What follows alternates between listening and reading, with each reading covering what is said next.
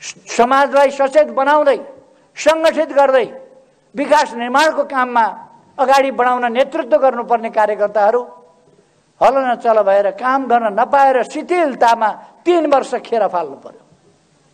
त्यो तपाईँहरूलाई थाहा छ। अहिले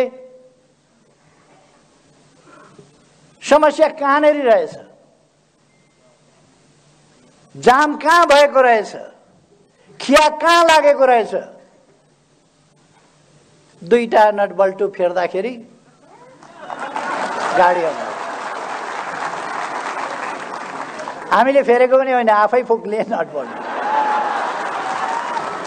खिया लागेका दुईवटा नट बल्टु फुक्लिया थियो, पार्टी।